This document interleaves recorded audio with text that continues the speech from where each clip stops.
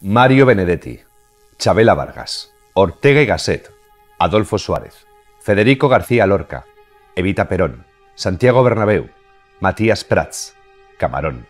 ¿Sabes en qué te pareces tú a todos estos genios? En que tú también eres magistral. Sí, eres el mejor en tu profesión. Has conseguido triunfar, sortear todos los obstáculos que te han puesto en el camino. Nada ni nadie ha sido capaz de apartarte de tu sueño. Seguro que cuando empezaste tenías un referente, alguien en quien te inspiraste, en quien te sentías identificado. ¿Te imaginas que ese alguien te hubiera contado cómo fue su experiencia?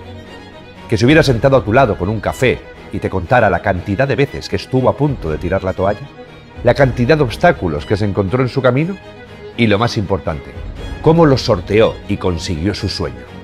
Ese sueño que también era el tuyo.